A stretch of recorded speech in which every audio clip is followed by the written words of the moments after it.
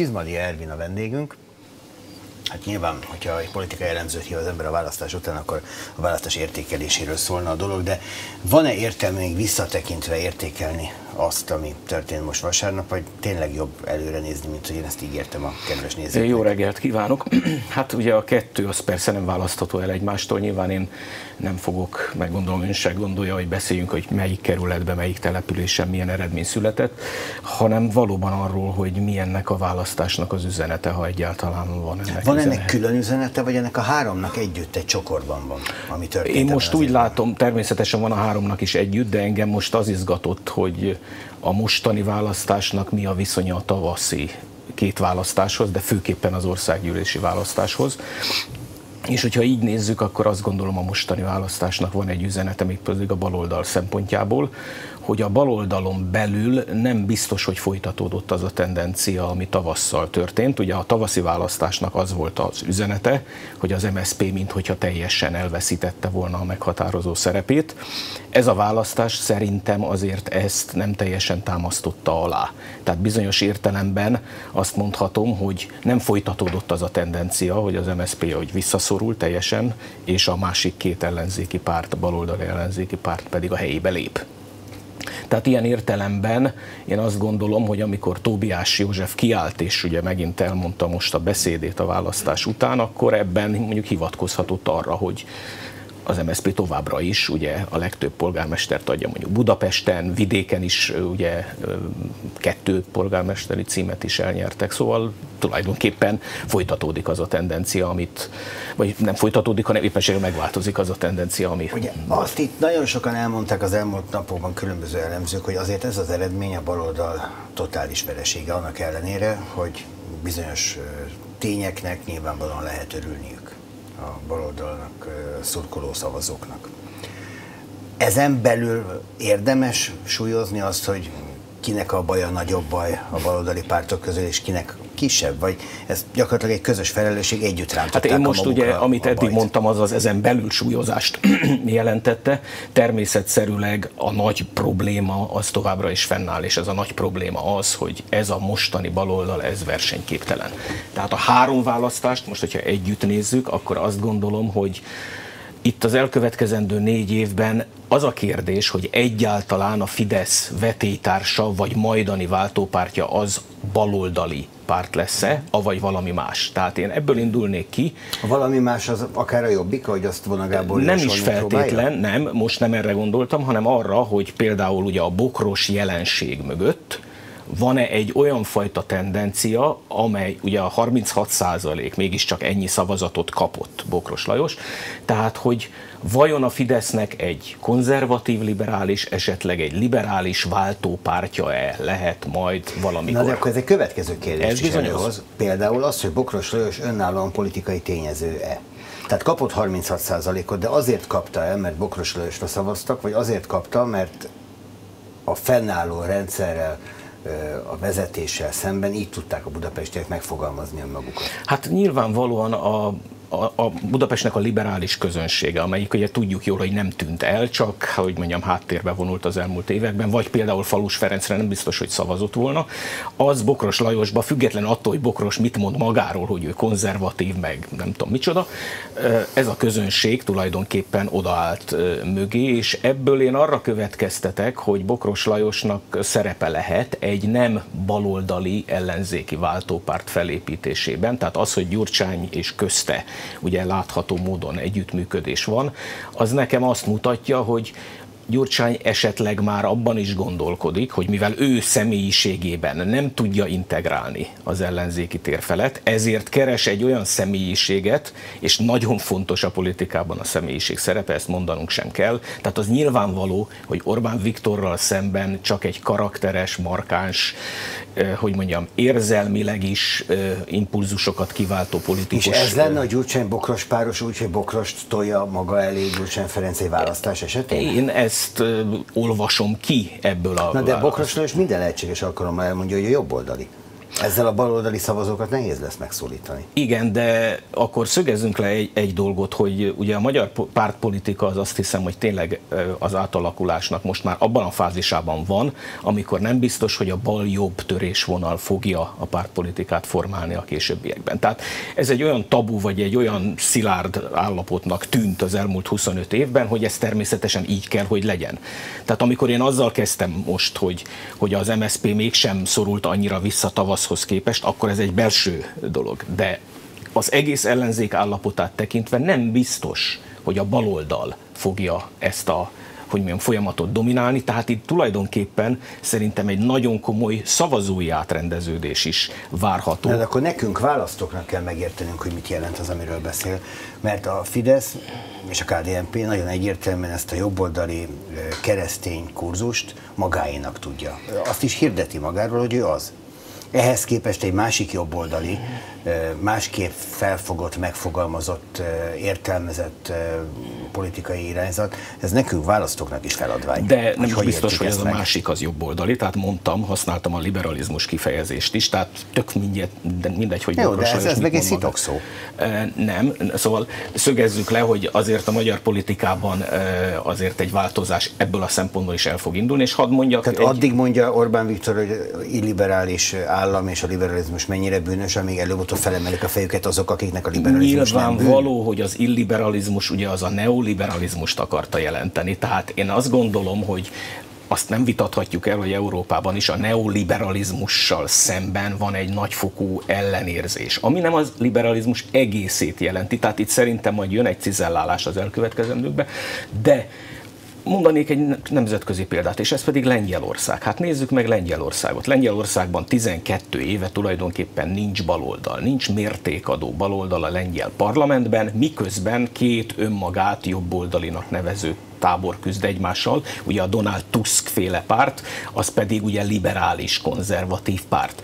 Tehát én el tudok képzelni egy olyan szenáriót, amelyben Magyarországon is a baloldal ebben a 12-15 százalékos tartományban marad, vagy esetleg még kisebb, ugye a lengyel baloldal az kb. 10 százalék körül van 12 éve, és a váltó gazdálkodás két másik tényező között fog hát, zajlani. A lengyel baloldal azért is jó példa, mert ugyanúgy egymást gyötrik az ottani szereplők, mint ahogy látszik, hogy a magyarországi baloldal szereplői is egymás ellen fordulnak sokkal erősebben időnként, mint ahogy a kormányzat ellen. Hát igen, ez, ez, ez így van. Ráadásul ugye abban is hasonló a helyzet Lengyelország és Magyarország között, hogy hogy az ottani liberális párt, az ottani SDS, az ki is esett a parlamentből, ugye a 2000-es évek elején, tehát ott nincs bent a parlamentben mondjuk a hagyományos bal-liberális párt, így mondhatnánk.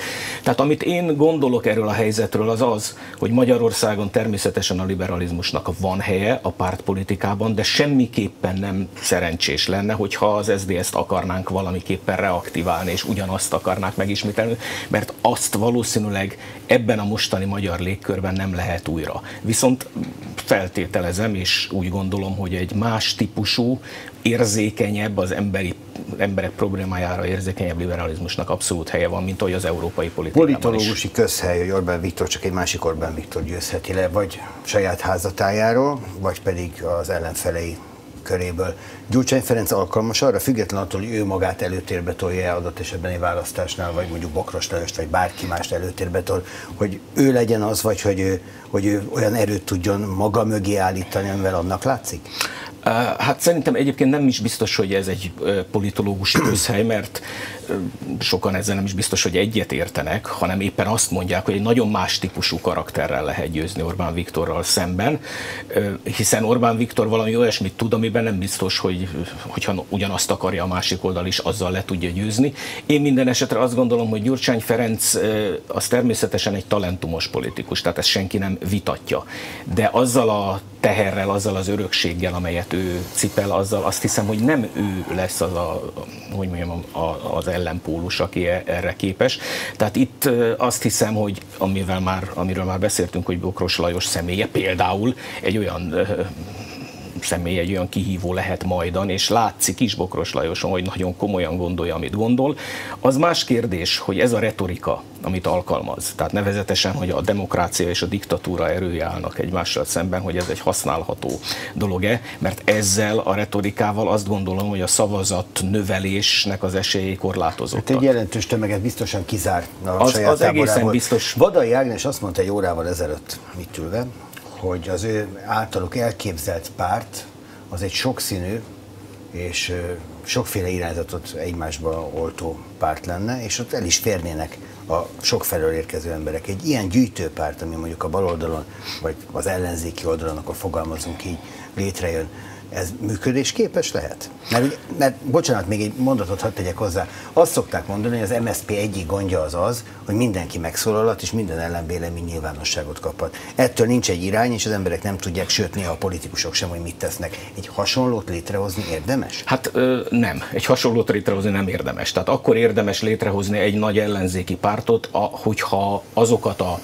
problémákat ki lehet küszöbölni, amelyek az MSZP-ben megvoltak. Tehát mondjuk az MSZP-nek ez a platformosodás, ez a mindenki küzd mindenki ellen típusú dolog volt ugye a jellemzője. Nem így van, hanem hogyha találnak egy olyan tekintélyes vezetőt, akinek el tudják hinni, hogy egy párt összességét kifejezi. Tehát akkor visszajutottunk a tekintélyelvűséghez. Nem, a tekintélyes vezető az nem azt jelenti, hogy tekintélyelvű. A tekintélyes vezető volt Tony Blair, Bill Clinton, kérdezném öntől vagy a nézőktől, hogy bárki is tekintélyelvűnek gondolta-e őket. Beállt... Nem, de Margaret Thatcher is tekintélyes vezető okay. volt, és ő tekintélyelvű volt. Oké, okay, tehát megint mi hova jutottunk? Oda jutottunk, hogy vigyázzunk a kifejezésekkel és a szavakkal. A szavaknak nagyon sok jelentése van. A politológus éppen azért létezik, hogy a szavak között cizelláljon, és azt mondja, hogy nem kell bizonyos szavakat kidobnunk azért, mert benne van a szóban az is, hogy tekintélyelvű. A tekintély szó szerintem egy szép kifejezés, mert azt fejezi ki, hogy bizonyos bizonyos emberek elfogadnak másokat vezetőjüknek. A magyar baloldali vagy ellenzéki politikában szerintem egy óriási probléma, hogy nem találnak egy olyan vezetőt, akire, hogy úgy mondjam, jó értelemben rábízhatják magukat. Még egyszer mondom, a nemzetközi politikában számos ilyen Na de mondott két találok. nevet, Gyurcsányt és Bokrost. Melyikük az? Vagy egy harmadik? Nem, hát Gyurcsányt nem tekintettem ilyen típus. Azt mondtam, hogy ő egy talentumos politikus, de a múltja miatt, egy csomó esemény történés miatt. Bokros? Bokros szerintem lehet egy ilyen vezető, de lehet, hogy ezt a vezetőt most még nem ismerjük. Akkor érdemes létrehozni egy nagy gyűjtőpártot, ha annak az élére egy olyan ember áll, akit a különböző belső erőcsoportok elfogadnak, és nem indul meg ugyanaz a küzdelem, hogy szétmorzsolják a pártnak az egységét. Tehát szerintem az nyilvánvaló, hogy egy ekkora Fidesz-szel szemben, mint amekkora van, ez a szétaprózott, több pártba tömörült ellenzék nem versenyképes. Egy egyébként... De most megkérdette az új, liberalizmus, új liberalizmus, na én meg nem tudom kimondani.